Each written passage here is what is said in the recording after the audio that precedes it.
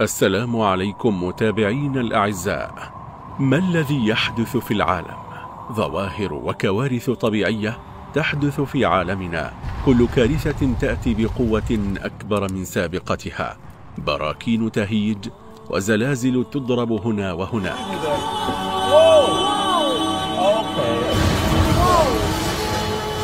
Thank you. Coming up, more problems for a troubled Earthquake. Yep, We're we having والجراد يهجم بشكل عنيف في مناطق مختلفة والأمطار التي كانت تستغرق من سنة إلى سنوات لتهطل أصبحت تنزل في وقت وجيز لا يتعدى اليوم الواحد مسببة إغراق كل ما يأتي في طريقها. وفيروس شنيع يهدد الصين والعالم بكارثة بشرية كبيرة. ولقد أرسلنا قبلك فأخذناهم بالبأساء والضراء لعلهم يتضرعون.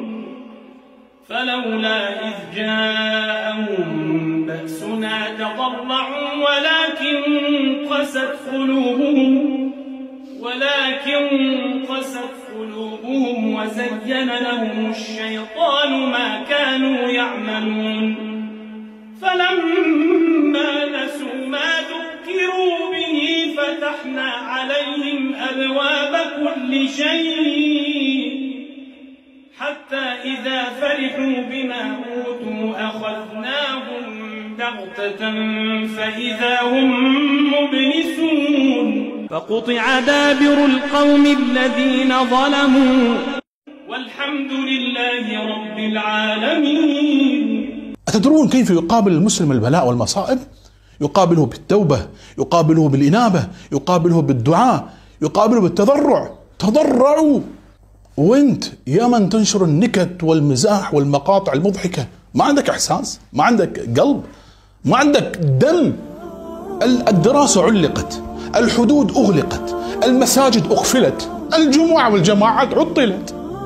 المؤذن يقول صلوا في بيوتكم. العمرة أوقفت منذ عشرين يوم لم يعتمر إنسان على وجه الأرض. هل كره الله انبعاثنا فثبطنا؟ هل هذا كسب أيدينا؟ هل جاهرنا بالمعصية فأعرض الله عنا؟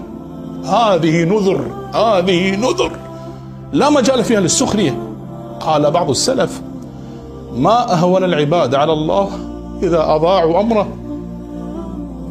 يا حسرة على العباد يا حسرة على العباد ما يأتيهم من رسول إلا كانوا به يستهزئون.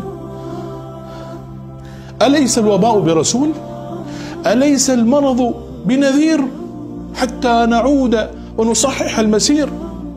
هذه الآية ليست خاصة بالرسول عليه الصلاة والسلام بل تشمل الرسول ومواعظ الرسول كما قال الطاهر بن عاشور قال الله تعالى وما نرسل بالآيات إلا تخويفا.